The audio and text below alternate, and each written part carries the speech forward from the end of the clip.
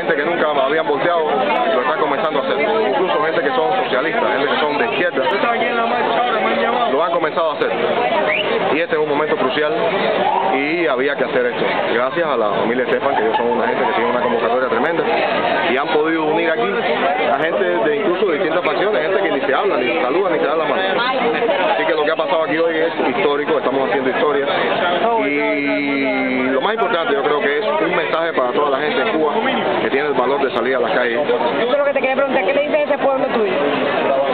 que siento un respeto y un cariño profundo por ellos, siento una ternura y una humildad tremenda cada vez que yo veo que la dama de blanco sale, que sale alguien y se manifiesta de alguna forma, aunque sea tímidamente, porque yo sé que vivir en un sistema totalitario, nosotros nacimos y nos criamos ahí, yo sé lo que es eso, yo sé lo que es el miedo. Y a toda esa gente que tiene el valor de hacer algo por Cuba, de salir a la calle, mi respeto profundo y mi admiración profunda, eternamente.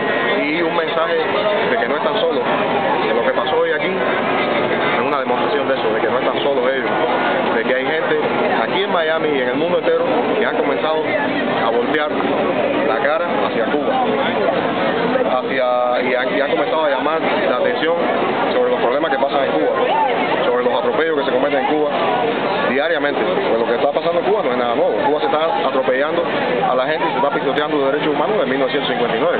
Lo que pasa es que en este momento, después que ha muerto este muchacho, después que ha muerto este muchacho, después que lo asesinaron, porque él estaba haciendo una huelga de hambre con agua y ellos le quitaron el agua para que él se muriera. Porque era negro, porque era rebelde, por las cosas que hayan sido.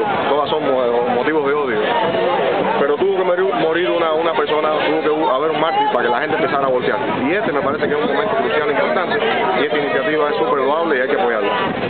Mil gracias, Amable. Gracias a ti.